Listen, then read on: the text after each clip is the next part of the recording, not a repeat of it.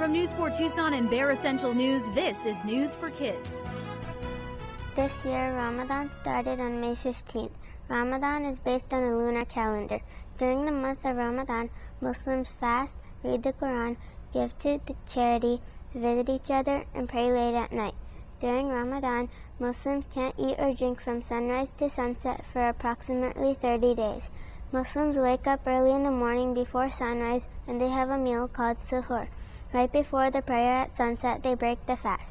This is called iftar.